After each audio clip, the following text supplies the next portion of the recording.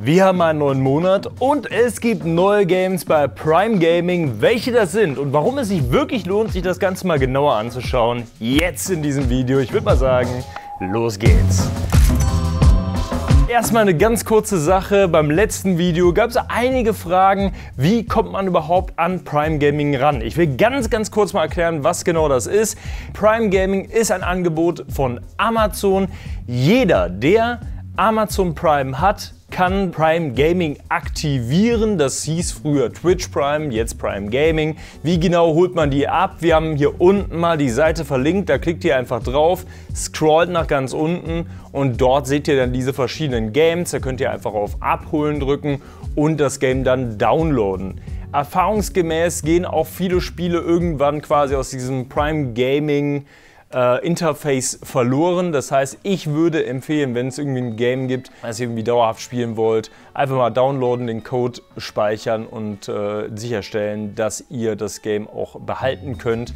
Wenn ihr jetzt einfach nur die ganzen Games abholt und dann am Ende, weiß ich nicht, ein halbes Jahr später das dann zocken wollt, kann es gut sein, dass das dann schon futsch ist. Das heißt, die Games, die ihr gerne spielen wollt, direkt saven. Prime Gaming hat es auf jeden Fall immer ganz gut drauf irgendwie, sehr doch relativ bekannte Indie-Games mit im Paket zu haben und dann teilweise Games, die man von denen man noch nie was gehört hat, die aber im Grunde eigentlich ganz schön geil sind, wenn man sie sich mal ein bisschen genauer anschaut. Fangen wir direkt an mit dem absoluten Banger und das ist Batman The Telltale Series. Alle Episoden. Telltale Games sind dafür bekannt, sehr, sehr storylastig zu sein. Ist eigentlich eine Mischung aus einer Serie und einem Game, könnte man sagen. Gibt es zu verschiedensten Franchises, zum Beispiel auch Game of Thrones, wo man wirklich teilweise echt das Gefühl hat, man ist in einer Serie drin. Die Stories sind extrem schön geschrieben.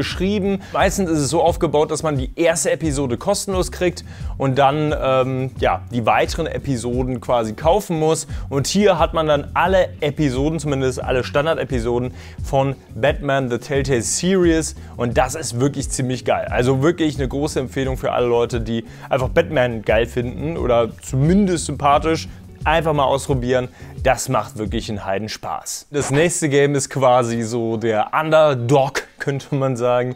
Es nennt sich nämlich Portal Dogs. Es ist ein Puzzlespiel, was eigentlich sagen wir, optisch eher, sagen wir mal, auf Mobilgeräte gehört, macht aber durchaus Spaß. Wir haben es auf jeden Fall mal angetestet. Ist auf jeden Fall einfach ganz nett, ein Indie-Game, wozu man eigentlich gar nicht mal viel irgendwie Worte verlieren sollte. Probiert es einfach mal aus, wenn ihr Bock habt. Das nächste finde ich dann wieder richtig, richtig geil, muss ich sagen. Das nennt sich Tales of the Neon Sea. Ist halt so ein bisschen dieser 16-Bit-Grafik, ist an klassische Adventure Games wie Monkey Island angelehnt, hat aber optisch auf jeden Fall ein bisschen mehr zu bieten, weil hier diese 16-Bit-Welt wirklich richtig, richtig vollgepackt ist mit Details. Das Ganze spielt in einer Cyberpunk-Welt, läuft als Detective rum, muss sehr viele Puzzle und Rätsel lösen und man hat dann, ähm, wenn man dann in Dialogen ist mit Charakteren, dann nochmal so detailreiche äh, Zeichnungen von den Charakteren. Es macht auf jeden Fall wirklich einiges her. Ich finde es wirklich ziemlich, ziemlich nice. Red, also R-A-D, ist das nächste Game, ist ein Roguelike-Game in der Postapokalypse ist mit so einem 3D-Rendering gemacht. Ist wirklich ganz schön, muss ich sagen. Ich bin selber ein riesen Roguelike-Fan und sehe, dass man hier zumindest mal ein bisschen was Neues gemacht hat.